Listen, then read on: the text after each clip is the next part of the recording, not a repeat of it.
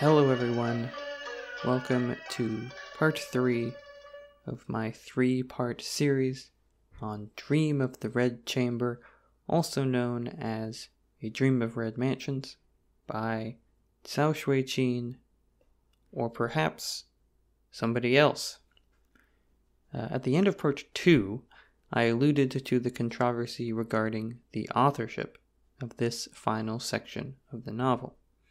While I don't like to dwell too much on authorship questions or things like this, I thought it might be worthwhile to briefly introduce the subject. During Cao Xueqin's lifetime, the only version of Dream of the Red Chamber to be publicly circulated was an 80 chapter version that ends abruptly with Ying Chun returning to her abusive husband after an emotional visit home. The story at this point is clearly unfinished.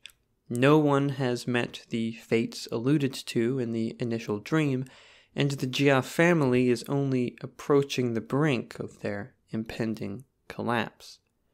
While there are plenty of unfinished stories in the canon of world literature, either unfinishable or simply cut short by fate, it would be hard to find an example more utterly jarring than this one.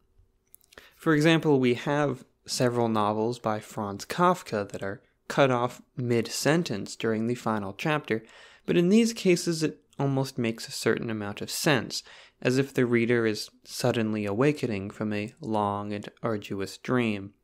In the case of The Dream of the Red Chamber, we are left desperate for an ending, and thankfully, we have one.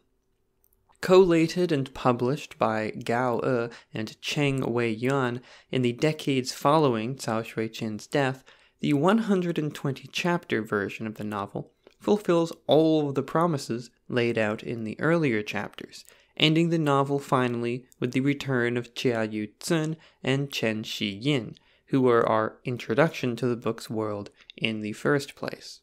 However, the question still remains who wrote these chapters and how. There is much controversy on this point, as Gao and Chang's story of how they came across their manuscript reads almost like a novel in itself.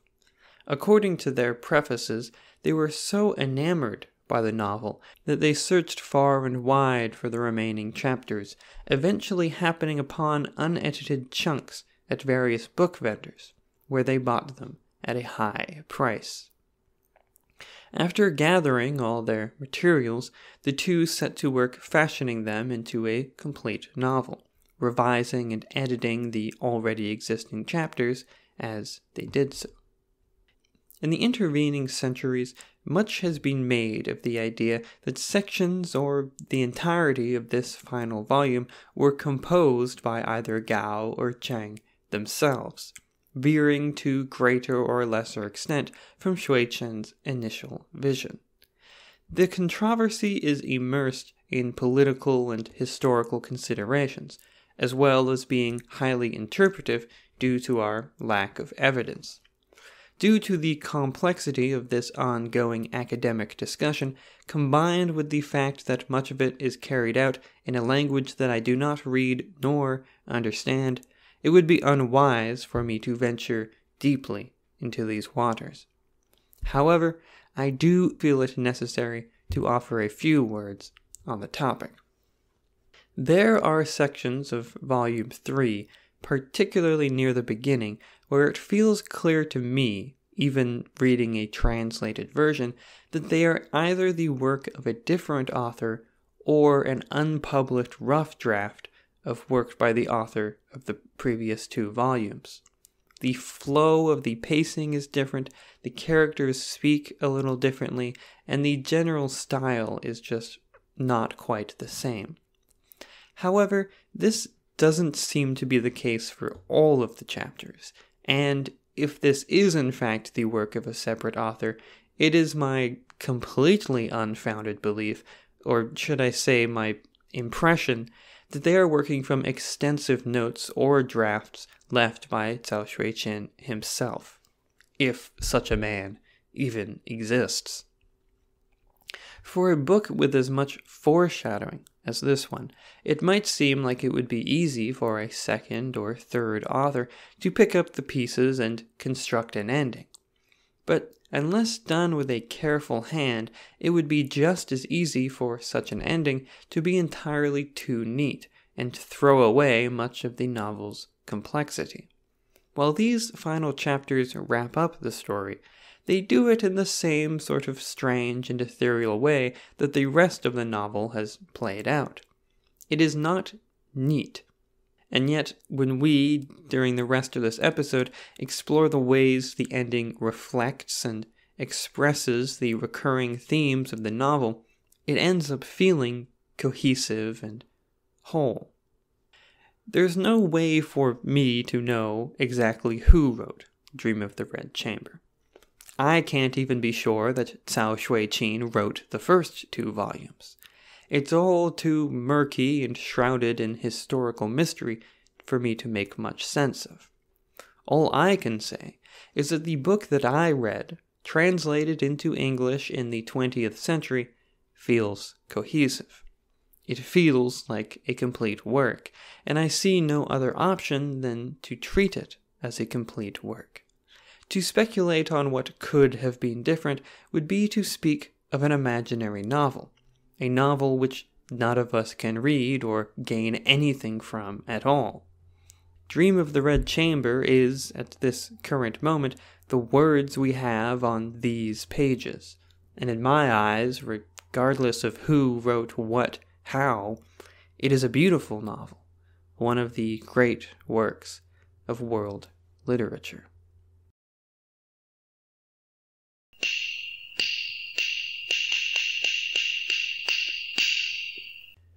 We ended part two with our quote from a Taoist priest. Quote, you should know that all good things in this world must end, and to make an end is good, for there is nothing good which does not end. My song is called All Good Things Must End. When I first read this book, I couldn't help but feel betrayed by this final volume like I had been given something beautiful, only to have it so cruelly snatched from my hands.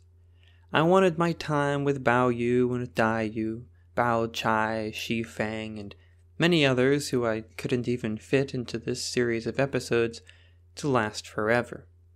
I didn't want to see bad things happen to them. I somehow convinced myself that it would all just work out in the end. But Dream of the Red Chamber is a tragedy. This is made clear from the very beginning, and yet it somehow pulls off the trick of telling you explicitly that it's going to be a tragedy, and then making you hope that somehow or in some way it was lying. As things go from bad to worse, you read on. You read on to find out what happens next even knowing that it's not going to make you happy. To explore all the misfortunes that befall all the members of the Jia family during this volume would be exhausting, and beyond the scope of this examination. I would like instead to focus ourselves once again primarily on Bao Yu, whose actions at the end of the novel elucidate much of the novel's integral themes. Dream of the Red Chamber is a huge novel, and there are many different ways one can look at it. As far as I can tell, the primary focus of redology, which is the term for the study of this book, has been biographical, historical, and political analyses. The edition I have, published in Beijing in 1980, contains not one but two quotes from Mao Zedong in its preface. I'm not an expert in Chinese history, and most of what I know about Chinese society in the 18th century comes from novels like this one. In part two, I made something approaching an attempt to place the story in its historical and cultural context, but that is really the limit of my abilities in that respect. As non Chinese readers, of Dream of the Red Chamber, divorced from the long history of scholarship regarding the novel, we end up coming at the book from a different perspective, free from many of the biases that may have built up over the centuries.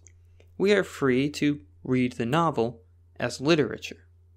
What we will focus on and find noteworthy will likely be quite different from what a Chinese reader might notice, and this we can turn into a strength, in the same way that a Chinese reading of any English or North American novel has the potential to shine a new light on our understanding. Thus, you must forgive me for passing over many notable events from this final volume that would be considered absolutely vital to other examinations. What's important to us is merely the fact that things don't go well. There is little levity in this third volume of Dream of the Red Chamber. What little levity there is is shared between reprehensible men who gamble and drink away their lives. Eventually, these men get their comeuppance, but they're not the only ones. The Ning mansion is seized by the emperor for their misdeeds. Jia Shi is arrested. Jia Zheng is disgraced. Shui Pan gets convicted of murder, and concubine Chao gets dragged straight to hell.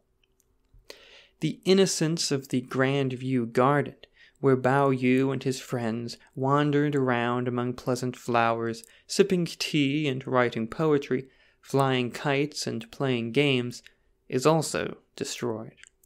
The garden empties, and with no one to take care of it, it becomes overgrown and is infested by evil spirits and demons. Eventually, it becomes so bad that Taoist priests are called in to perform an elaborate ritual in an attempt to purify it. But even this is not enough, as soon after the entire mansion is ransacked by bandits who make their entrance through the gates of the garden. These are but a few of the events that make up this final volume. But we must cast many of these aside, treating them only as the backdrop for the story which we wish to focus on. That is, the story of Bao Yu and his search for spiritual understanding.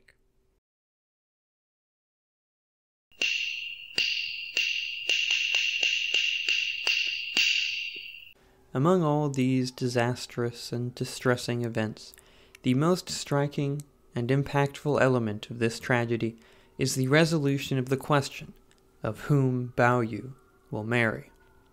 Lin Dai Yu, the frail and sickly otherworldly poet with whom Bao Yu shares an intense spiritual connection, or Shui Bao Chai, whose beauty and prudence promises a happy and stable life. This is not a question posed to Bao Yu himself, for his is a world in which the parties being married don't have much of a say in the matter. The question is instead posed to the world, and it is only fitting that the world opts for the most worldly option. This will only come as a surprise to the most deluded of readers, a group which included myself. As a young man who spent years clinging to his own impossible loves, piling them one atop the other until the whole world seemed impossible, I needed Dai Yu and Bao Yu to end up together. I needed my yearnings vindicated, to be shown that, at least within the comfortable realms of fiction, such yearnings may be justified.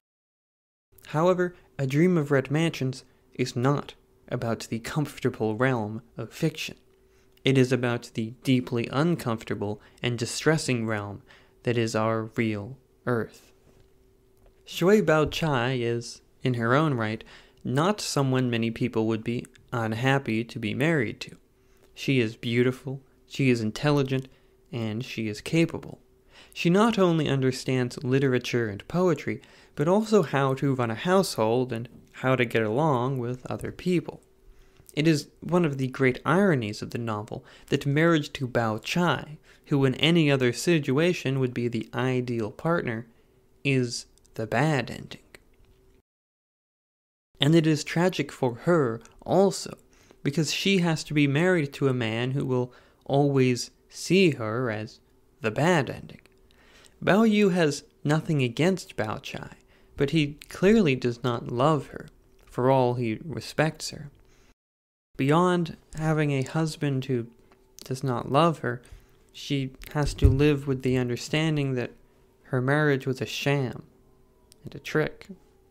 First, let's understand how this trick came about. Bao Yu mysteriously loses his jade of spiritual understanding, and this causes him to fall into a stupor, half insane and barely aware of the world around him. Every word he speaks is even more nonsensical than normal, and he often zones out for hours at a time. His family can only conclude that he is deeply ill, and that something must be done to help him. Since it's been said from the beginning that a connection between gold and jade will bring good luck, they conclude that a marriage to Bao Chai, with her golden locket, will help mediate whatever evil influence is working itself on Bao Yu. However, there remains the problem of Dai Yu. Shi Zhen reveals to Lady Wang, Bao Yu's mother, the extent of the love between Bao Yu and Dai Yu, and that it's unlikely he would willingly go along with any other match, even in his addled state. Shi Feng, clever as she is, comes up with a trick. While they arrange the wedding between Bao Yu and Bao Chai, they convince Bao Yu that he is instead of being married to Dai Yu, a prospect which pleases him a great deal. Upon hearing of Bao Yu losing his jade, Dai Yu had wondered if this had perhaps been an omen, showing that she had gotten in the way of the prophesied match between gold and jade. When a careless maid named Numskull accidentally reveals the truth of the impending marriage between Bao Yu and Bao Chai, Dai Yu falls into a daze. She wanders over to Bao Yu's quarters before anyone can stop her, and in a horrifying scene, the two just sit on the bed and stare at each other, smiling and laughing, their minds completely empty, just two hollow shells in each other's company. Dai Yu was always sickly and often ill, tormented as she was by her loneliness and her lack of a home. She was kept afloat by the love and generosity of those around her, and particularly by Bao Yu. Although they didn't know how to express it to each other, they both understood each other's love, and Dai Yu was propped up by Bao Yu's constant generosity. Knowing that this relationship they had had is now gone forever, that Bao Yu will never be there for her as he was in the past, kills Dai Yu. She dies at the precise moment of Bao Yu's wedding, his name being the last words to escape her lips. In her final hours, she understands that she's been betrayed, and she departs from this world not exactly alone, not wholly alone, but without that most important presence that kept her alive for all these years. We already knew their love was impossible. We knew it from the very beginning. But to see its impossibility emphasized so dramatically, shoved so emphatically in our face, is almost too much. It certainly is too much for Bao Yu, who, once he recovers his jade and returns to his senses, goes searching for Dai Yu in another world. I will return to that specific scene later, but for now I'd like to discuss Bao Yu's broader reaction. But to do so properly, we need to first talk about Shichen. Shichen is Bao Yu's cousin from the Ning household, Jia Zhen's sister. Although she is from the other household, she grows up in the garden alongside Bao Yu, Dai Yu, Bao Chai, and all the others. She is a gifted painter and is tasked with painting a portrait of the gardens, which she never ends up finishing. Most importantly, Shi Chen is principled and strong willed. she insists on following her ideals and will not allow anyone to talk her out of anything. When she finds the Ning household to be morally bankrupt, she cuts herself off from them completely in order to remain pure. This is just the first step in her search for purity.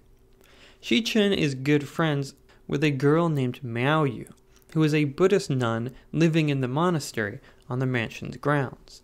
And this is likely the source of her belief in the corruption of the world. Over time, Shi Chen becomes more and more radical in her denouncement of the worldly world. From renouncing her family specifically, she moves on to renouncing the entirety of worldly life. When she announces her intention to shave her head and join the monastery, she is admonished for her recklessness. Not only is it a ridiculous sort of thing to throw a life of luxury away like this, it's also a bad look for the family's reputation, for a girl of high society to lower herself in this way. Most nuns, it seems, are girls of lower class or girls with nowhere else to go. Shi Chen's family does not recognize the depth of her convictions, brought on by the calamities she's experienced recently, particularly the sacking of the mansion by burglars, during which Miao Yu is kidnapped by bandits. This event seems to be the final nail in the coffin for Shi Chen's connection to our world. When Shi Chen is announcing her intention to renounce the world and become a nun to her family, Bao Yu is around, and he utters mysteriously, How sublime! and recites a poem. She sees through the transience of spring, dark Buddhist robes replace her garments fine. Pity this child of a wealthy house, who now sleeps alone by the dimly lit old shrine. This poem is taken directly from the register of the Twelve Beauties that Bao Yu read during his first dream, all the way back in chapter 5. Back then, he was unable to connect what he was reading to anything in the real world. It was all just nonsense, and thus slipped from his memory. But now he looks at Shi Chen and immediately understands her fate. This is because, ever since Dai Yu's death, Bao Yu has been on his own path toward renunciation. Bao Yu has always seemed to be somewhat distant from the goings ons down here, treating much of life as if it were a game or a distraction from more important things. He recognized that striving in business or politics was mere vanity, but he couldn't tie this indifference into any broader philosophical framework. Instead, he simply chased after other worldly things, namely girls, poetry, and literature. Let me just say that I can relate. The first dream that Bao Yu dreams is a warning. The goddess of disenchantment explicitly says that she was asked by Bao Yu's ancestors to steer him away from his amorous pursuits. Bao Yu has clearly recognized in some way the divine qualities of the girls around him. They are, after all, spirits descended from heaven. But unaware of their true nature, he instead has become attached to their earthly presences in the form of lust and passion. This is not necessarily sexual lust. The goddess calls it a lust of the mind, but it is equally misplaced. However, advice is nothing without experience. No one really believes advice or warnings, whether coming from goddesses or from their parents, until it is corroborated by their own experiences. Thus, Bao Yu is unable or unwilling to follow what the goddess says until her premonitions start to come true. One by one, the girls are swept away by their fates, and although it's not explicitly stated, we can say that with each one, Bao Yu is becoming closer and closer to true understanding. The death of Dai Yu, the loss of Bao Yu's strongest attachment is the shock that precipitates the final leg of Bao Yu's journey. As the affairs of his family fall apart around him, Bao Yu is paid a visit by another Bao Yu.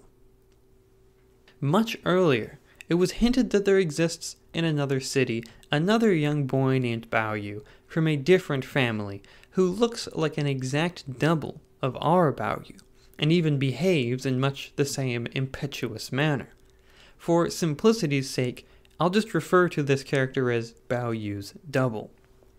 This double makes an appearance at the Jia mansion on a visit to the capital.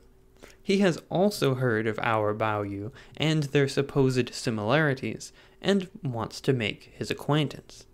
This excites Bao Yu, who has always been enthusiastic to meet his double, even going so far as to dream about him. However, after their meeting, they don't see as eye to eye as they expected. As it turns out, Bao Yu's double has lived a much different life than Bao Yu. While they shared the same irreverence and enjoyment of female company as youths, they have matured in quite different ways. Bao Yu's double has put away his youthful folly and turned toward a responsible life, focusing on his studies in order to get a government position. He is keen to participate actively in civil life and greatly reveres those civil servants who bring honor to their family. Bao Yu, of course, is sickened by such vulgar talk. In his eyes, his double has simply acquiesced to the pressures of his father and wider society, parroting the Confucian principles of order and honor that Bao Yu continues to actively reject. Instead of coming to terms with the meaning of this rejection, like Bao Yu is attempting to do, his double has, in a sense, given up and simply accepted them. There is a certain irony to the names of these two characters. Of course, they're both named Bao Yu, but our Bao Yu is Jia Bao Yu, while his double is named Zen Bao Yu. As I mentioned in part 1, Jia is a homophone for false, while Zen is a homophone for true. Zen Bao Yu is the type of Yu we are more likely to come across in real life, as in our actual daily lives when we're not reading books. He is more attuned to what society in general considers true, whereas Jia Bao Yu, our Bao Yu, recognize these principles as false or misleading. We see during this conversation that whatever maturity Bao Yu is going to attain by the end of the novel, it is not going to adhere to whatever common notions we may have of the word. Bao Yu is as vehemently opposed to this sort of maturity now as he was when he was a child. He's looking for some other way, some other sense of meaning. He attains this when his jade of spiritual understanding is finally returned to him. A monk mysteriously appears at the mansion, declaring that he will return the jade in exchange for a large sum of money. At the time, Bao Yu is once again bedridden, still not quite recovered from the mental and physical illness that has been tormenting him since the jade was first lost. Upon the jade being returned, Bao Yu falls into his final dream. In it, he is once more transported to the illusory land of Great Void, now known as the Happy Land of Truth. This name change is joined by a new couplet. When false gives way to true, true surpasses false. Though nothingness exists, being differs from nothingness. Now, it seems that what was once false is now true, and that the illusory land is now the land of truth. The dream world, which seemed false at first, has now been revealed as the true world. Here, Bao Yu runs into many of the women who have passed away throughout the story, Yuan Yang, Dai Yu, and even Qin Keqing. However, none of them recognize him. They look like the people he knew, but they're somehow different. Once again, he comes across the register of the Twelve Beauties and begins to read. Now he is able to recognize that all these premonitions were tied to women from his family, and all of them have either come true or are in the midst of coming true. This is the meaning of the illusory land becoming the land of truth. It only seemed illusory because Bao Yu was so attached to the material world. Now that his attachments are being severed, he is able to understand this heavenly realm as the truth. As the monk says at the end of the dream, all earthly ties of affection are bewitchments. Bao Yu at this point recognizes that what he was after all this time wasn't girls, but what the girls represent. He sees that the women of his family, who he knew on earth as individuals, were but manifestations of something more eternal. This is why the women in heaven look like the girls he knew, but don't have any of the individual emotions or attachments that they had on earth. Thus, they don't recognize Yu, being still in his mortal state. Each represent a certain form of love and beauty. But this love and beauty can only properly reside in heaven. As we've seen, on earth it is either destroyed or corrupted. After this dream, Bao Yu loses his attachment to girls. We witness a conversation in which a newer maid laments the fact that she had deliberately tried to enter Bao Yu's service after hearing how nice and generous he was to his maids, only to find that he won't even look at her anymore. In fact, he's stopped joking around with Shi Zhen and all the others as well. The monk returns, and Bao Yu and him have a conversation, which we only witness through snippets relayed by a page to Lady Wang. These snippets include the phrases Blue Ridge Peak and Land of Great Void. From this, we can tell that the monk has revealed to Bao Yu the origin of the Jade of Spiritual Understanding and the nature of this story itself. At this point, Bao Yu understands precisely the nature of the relationship between the material and the divine world. This is, in essence, the goal of all attempts at religious understanding. Thus, we could say that after this conversation, Bao Yu has, in a certain sense, reached enlightenment. It's interesting and important that Bao Yu's story doesn't end here. It would make a certain amount of sense for Bao Yu to simply renounce the world at this exact moment. If this were the case, then our takeaway from Bao Yu's story would be simply that this world is false and that the other world is true. This would, of course, negate much of the impact of the novel. We have to remember that Bao Yu, while the main character, is but one of many characters. Such an ending would encourage a sort of solipsism that prevents any real understanding. Instead, Bao Yu sticks around, and it is what happens after he sticks around that I think sheds the most light on this novel's philosophical outlook. When we next see Bao Yu, he is sitting in his study reading the Chuang Tzu, which is a foundational Taoist text. Specifically, he is reading the chapter Autumn Floods. In this chapter, the spiritual guardian of the He River travels to the North Sea and realizes that the river he prides himself on so much is nothing compared to the grandness of the ocean. The Lord of the Northern Sea tells him, quote, A frog in a well cannot be talked with about the sea. He is confined to the limits of his hole. An insect of the summer cannot be talked with about ice.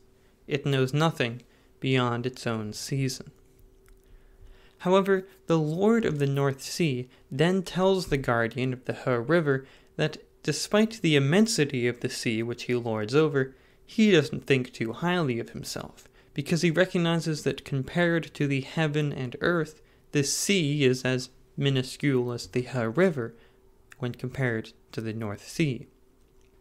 He goes on to say that scale doesn't mean anything, that the smallest and the greatest things are not of lesser or greater importance, but all have their own qualities that can't be compared.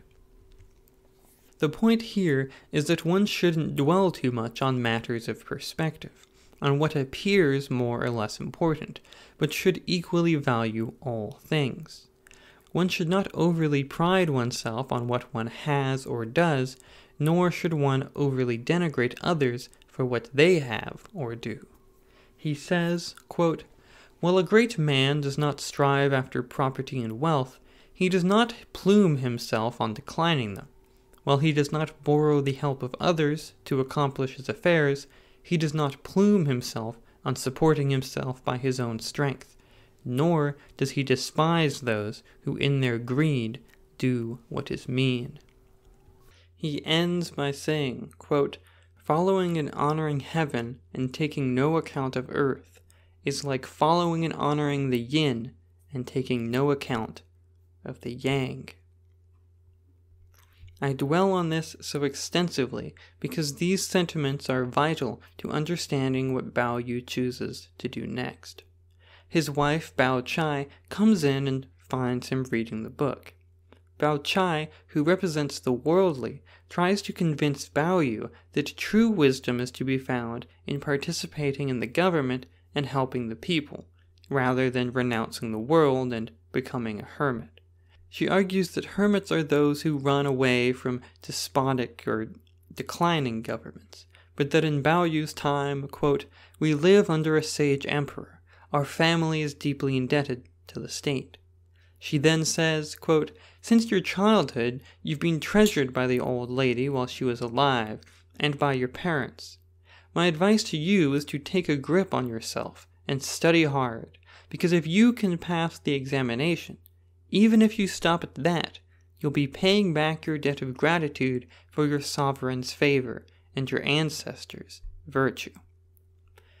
Bao Chai's argument here is based on Confucian values filial piety, and a respect for benevolent authority, both of which carry with them certain responsibilities towards one's elders and superiors.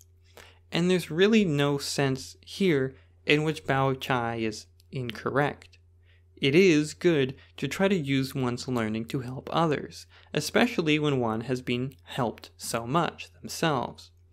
The emphasis here is on good government and a good upbringing, if Bao Yu lived in despotic times or in a disrespectful family, his responsibilities might differ. Interestingly, Bao Yu actually listens to Bao Chai here and agrees with what she said, particularly the part about repaying his debts to his family. And so Bao Yu begins to study in earnest for the examination even going so far as to burn whole his books about Taoism and Zen Buddhism. However, Bao Chai overhears him chanting as they burn Buddha's nature is not to be found in sacred canons. The fairy bark sails beyond the realm of alchemy. On the day of the examination, when taking leave his, of his family, Bao Yu kowtows to his mother and says, quote, I can never repay the mother who gave birth to me, but I shall do as well as I can in the examination to obtain a good degree and to make you happy. Then I shall have done my duty as a son and atoned for all my faults. We can see that Bao Yu has not had a total change of heart. He is not undertaking the examination in the hopes of achieving a government position and supporting his family because he has not made the simple turnaround that Zhen Bao Yu, his double, made in suddenly coming to revere such worldly things. What he is doing instead is preparing himself for his final renunciation by tying up his loose ends here on earth. He is not following heaven and taking no account of the earth. Instead, he has recognized that both heaven and earth have their own qualities, that neither is necessarily better or more important than the other, that if heaven was enough in itself, there'd be no reason for earth at all. The reason we are brought down here is to attain virtue by learning how to achieve goodness even in the face of suffering and evil. In the novel's frame story, the priest speaks of the vermilion pearl plant, aka Daiyu, repaying her debt of gratitude to Shen Ying, aka Bao Yu, by shedding as many tears as she can in a lifetime. Clearly, this idea of repaying kindness in some manner is part of heavenly virtue. Bao Yu has been raised and doted on by his family. His erratic behavior has been accepted and tolerated, for the most part. He has been given love unconditionally, and even when they were acting against his wishes, his family was acting in accord with what they thought were his best interests. Therefore, Yu recognizes that he needs to do something in return, to put their interests first for once, and he does so by undertaking this mostly symbolic act of going through and passing the examinations, even knowing that he has no intention of using this new status for anything. After he passes the examination with honors and is even recognized by the emperor himself, Bao Yu disappears. We last see him, accompanied by the Taoist priest and Buddhist monk from the novel's beginning, appearing before his father, who is returning home from burying the Lady Dowager, as well as Daiyu, in their ancestral graveyard down south. At first, his father doesn't recognize him with his shaved head and bare feet, but as Bao Yu kowtows to him, his father finally understands what is going on. Before the two can share any words, the priest and monk tell Bao Yu that he has fulfilled his worldly obligations and that they may now depart.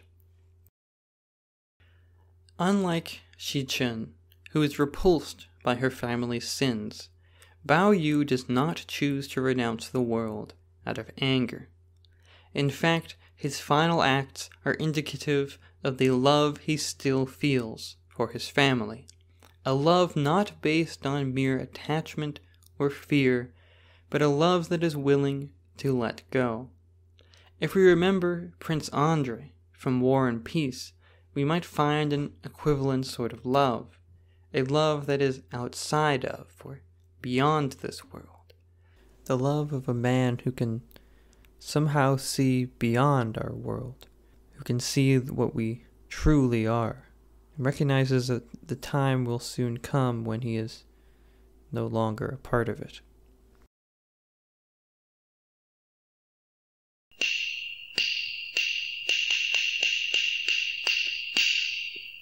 In the end, Bao Yu has fulfilled the will of both heaven and earth, and in this way proven that our attempt to distinguish which is true and which is false has all been folly.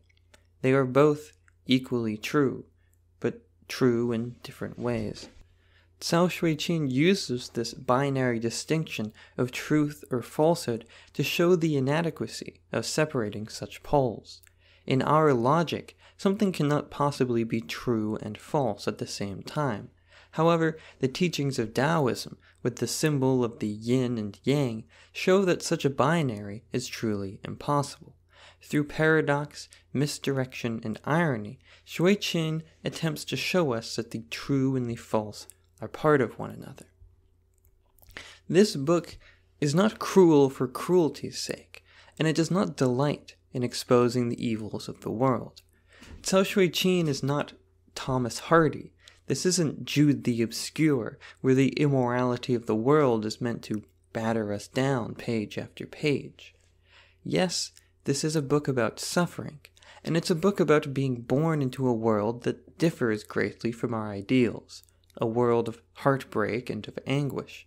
It is a world where both the evil and the good are punished, where even the protection of the powerful is not enough. The Jia family has the favor of the emperor. They have wealth and status, access to the greatest knowledge and the most exciting entertainment, but even they cannot escape suffering. However, Dream of the Red Chamber offers us a light, and it does so through the means of religion and through metaphysics. It does so by accepting that this suffering is but one part, and that to focus on it exclusively is to become imbalanced, and to ignore much of human existence. The innocent frivolity of the novel's first volume is not erased by the tragedies of the final volume. The novel, as a form, is atemporal. We, as the reader, can always return to that time. It will always be a part of our world. That is the heavenly, the divine, the eternal good. The poetry meetings that the young Jia women hold in the first half of the book are more than fun parties. They are an opportunity for the children of the garden to reach higher, to participate in something beyond themselves. The style of poetry they write is heavily indebted to the past. The structures, the rhymes, and even the images are pulled straight from earlier canonical works. This is in part a hearkening for the past, an idea that that which is ancient is somehow better or more pure. However, within this is an acknowledgement that these traditions need never die, that the world the Jia family inhabits is that same world that the ancient poets lived in. Bao Chai and Dai Yu, two teenage girls, can write poetry in which they communicate directly with poets from hundreds of years prior. This connection through time jumps over all the events and misfortunes of all those people who lived all their lives in between.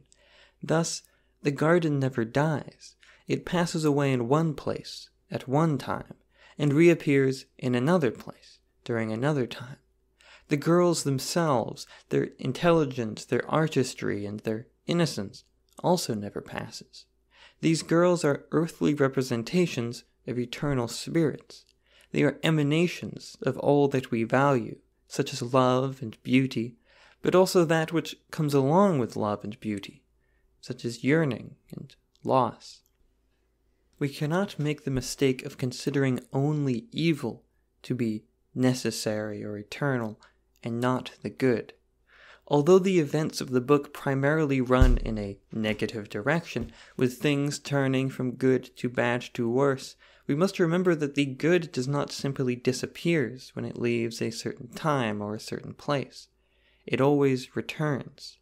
That's the nature of the illusory land of great void, aka the holy land of truth. It is the eternal place where the good resides, from where it can enter our world at any time and in any place. Thus, it can't be destroyed, and in fact, it might even outlive our topsy turvy material world. The nature of heaven and hell in Dream of the Red Chamber is not necessarily the same as our popular idea. After Dai Yu's death, Bao Yu slips into a dream where he meets a spirit on its way to hell. He's looking for Yu, trying to find some way to be with her again. He is still constrained by his attachments to the material world in the form of individuals. The spirit tells Bao Yu that Yu is gone, that after death human souls cease to have form, and thus can't be found like they can be on earth. Bao Yu asks the spirit how, if this is the case, hell can exist. The Spirit tells him that it doesn't, really. It is a dream cooked up by people to scare each other into being good. Hell only exists for those who believe in it. He says that the only way for Bao Yu to see Dai Yu again is to cultivate virtue and reach heaven. Now, Bao Yu doesn't question this assertion at the time because the spirit follows the statement up by throwing a rock at his face, but it's clear that the same argument made here against hell could also easily apply to heaven. If spirits dissipate after death and have no form, how can Bao Yu and Dai Yu possibly meet again, even in heaven? Later in the story, Bao Yu has another dream in which he returns to the illusory land of Great Void, now known as the Happy Land of Truth. He runs into many characters he knows, but they all insist that they'd never met him, and that the names he knows them by are not their true names. What this reveals to us is that Qin Keqing, along with all of the other girls in the mansion, are embodiments of some spirit, and that they represent some form or some aspect of love and suffering. The twelve beauties of Jinling that Bao Yu reads about in the register are their archetypes. On earth, they take the form of individuals with individual characteristics, but in heaven, they are simply ideas. This has much in common with Western conceptions of eternal ideas, such as Plato's, where each object on earth, such as a flower, is but an imperfect representation of some ideal of flowerness, for example, that exists in some immaterial realm. The point of these sorts of metaphysical conceptions is to develop an understanding of the abstract and the way it relates to the particular. In Dream of the Red Chamber specifically, its metaphysics is key to understanding whether the book is fundamentally optimistic or pessimistic in its depiction of human suffering.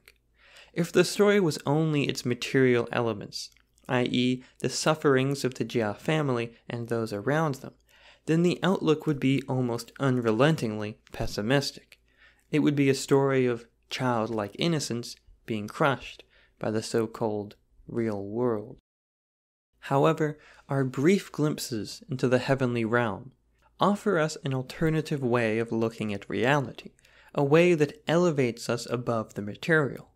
Love and beauty are eternal, cruelty, greed, and torment are worldly, and therefore impermanent. This is crucially important for our reading of the novel. Without this aspect, it would be easy to be overwhelmed by the tribulations and suffering within. We must remember the love and joy, the friendship between Granny Liu and the Lady Dowager, between Bao Chai and Dai Yu, the loyalty of Yuan Yang, the carefree generosity of Bao Yu, the poetry meetings where the family bond over expressions of beauty, among much, much more. These are in no way negated by disappearing with time, with their individual manifestations passing away. We must remember that, in a way, these moments last forever. In the book, they last forever in heaven, but you don't have to believe this heaven literally exists to recognize what the book is trying to tell us, which is that nothing can destroy love and beauty, not even the confusion and chaos of our world, not even hatred and cruelty and pure random misfortune. Love and beauty are always present in some sense, always ready to be reborn into the world. And knowing this, we can face with new strength whatever suffering and confusion may await us in this topsy turvy world.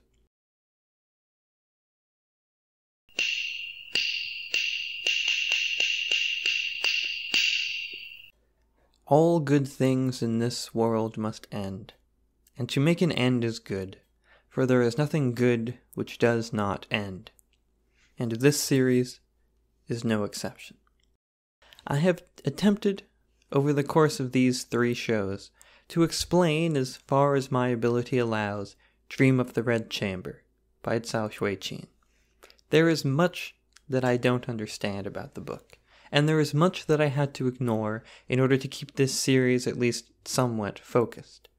But what I hope to have done is to either introduce the book to you if you didn't know about it before, or if you have read it, to offer some new ways of thinking about it, or some new connections you may have overlooked.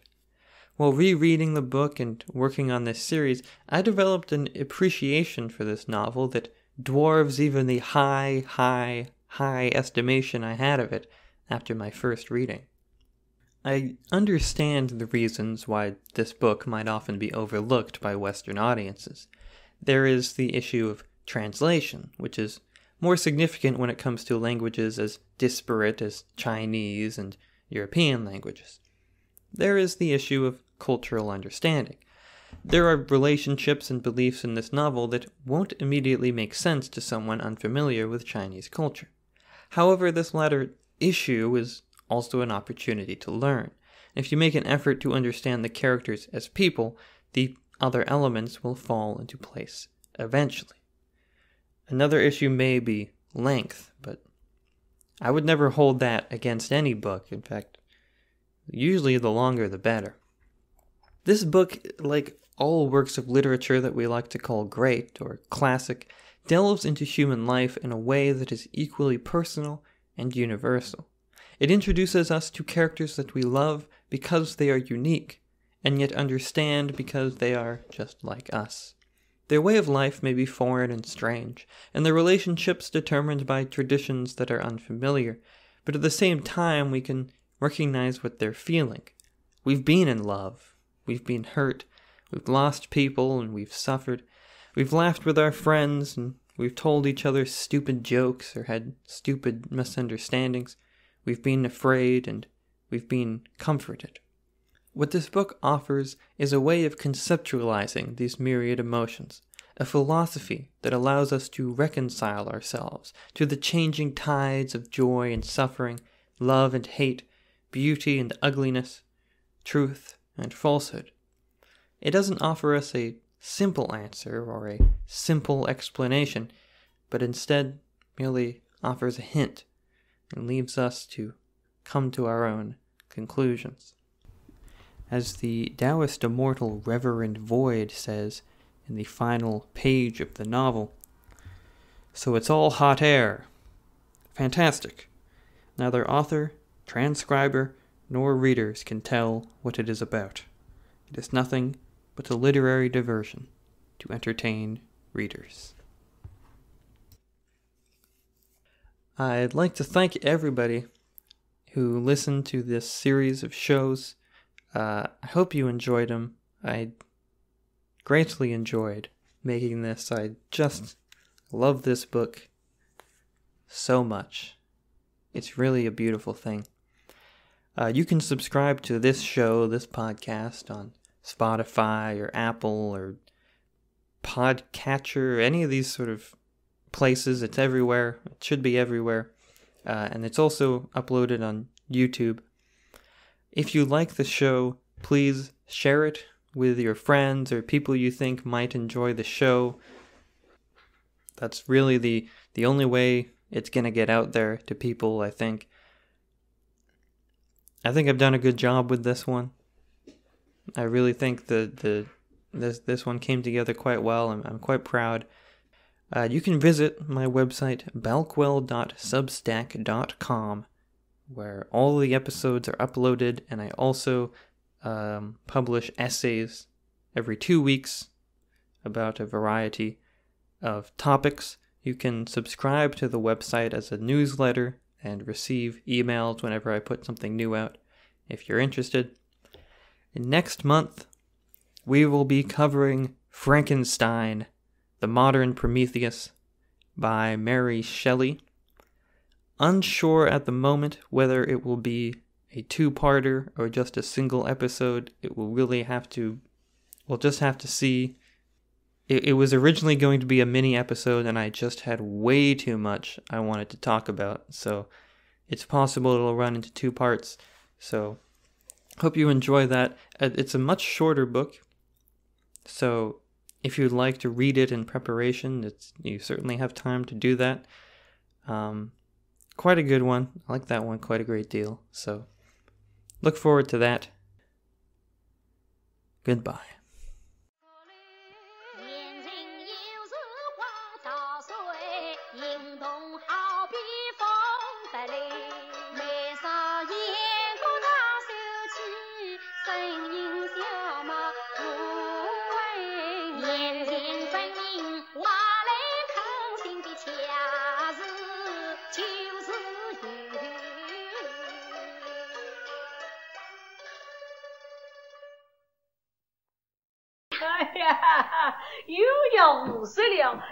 zendinho, Entinco!